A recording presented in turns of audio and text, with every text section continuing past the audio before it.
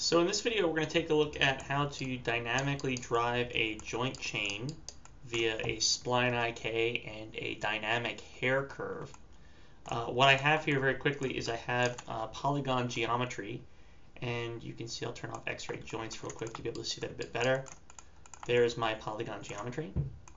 Uh, turn back on x-ray joints. You'll notice that I also have, I'll turn off display polygons, I have a joint chain here right now.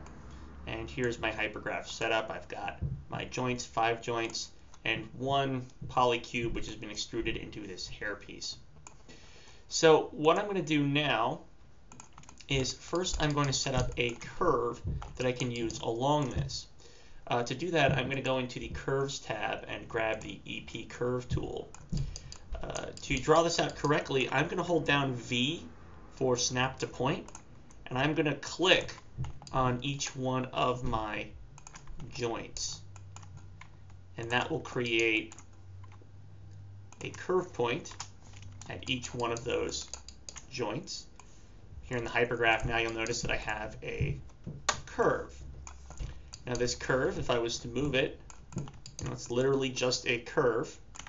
But we're going to put it back into place for right now. So this curve um, is going to eventually be controlling our entire joint chain. Uh, what I'm going to do is I'm going to select the curve first. I want to test its dynamic attributes. And uh, to do that, I'm going to go into the Dynamics menu set.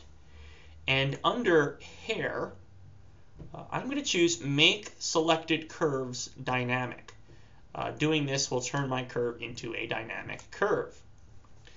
So when I do that, I bring my hypergraph back over here. You'll notice I have a whole bunch of new nodes created. I've got my joints and my cube, which I had before. I have my original curve here, curve one.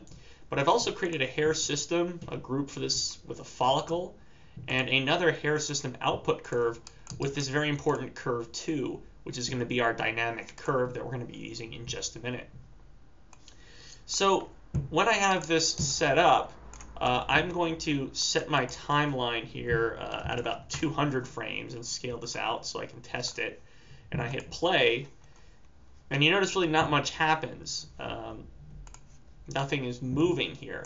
Uh, and the reason for that is actually because my follicle and hair system right now um, are being sort of trapped in place at both the beginning of the curve and at the end. It's like having a root for your hair at both ends. And I, of course, just want my root at the bottom side. So I'm going to select uh, my follicle. That is the follicle for the hair. And I'm going to say in the attribute editor, instead of point locking at both ends, let's point lock at just the base.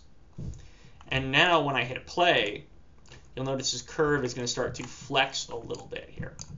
The problem is it's not going very, very far. It's just going to kind of hold up right there. Well, in the hair system shape node, the reason why this isn't going much further is because my stiffness scale needs to be altered. Right now, it's at a selected value of 1, meaning the hair is entirely stiff.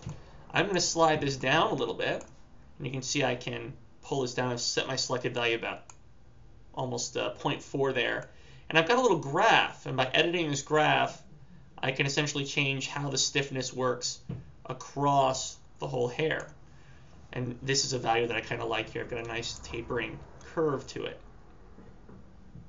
So now I've got the curve working dynamically, but I don't have this curve uh, pulling the joint chain with it. So to set that up, what I'm going to do is I'm going to create a spline IK.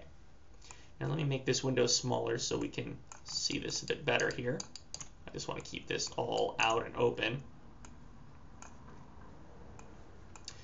Um, to create the spline IK, uh, normally that would create a curve with this uh, uh, onto the joint. So we create a spline IK and a curve along with it. But we already have a curve. So uh, in setting this up, uh, I'm going to go to the animation module and go to uh, skeleton, uh, IK spline handle tool, and I'll go to the attributes. If I was to reset the tool settings, you'll notice I'll have auto create curve and auto simplify curve here turned on. And since I already have a curve, I do not want either of those two options activated. So the important one is turning off auto create curve. Now I click on my uh, base joint here, my joint 1, and then I click on the tip joint, which is joint 5, and then to say that I want the dynamic curve, which is uh, curve number 2 here, to control that, I just hold down shift and I click on that curve. And that's going to create this setup. Now when I hit play, you notice my joint chain follows along with it. So now that we've got our joint chain pulling along this curve, um, I can go back, I'm going to turn on my polygon object here so I can see this. I will select my base, uh, then shift select my object, and I'm going to go into my uh, skin, uh, choose bind skin, smooth bind, and when I hit play now, my geometry is going to come along with my curve. And that's how you can make a dynamic joint chain to control things like tails or antlers or ears or any of these other secondary driven elements. Thank you. This has been Andrew Klein. For more videos, please check out andrewklein.net.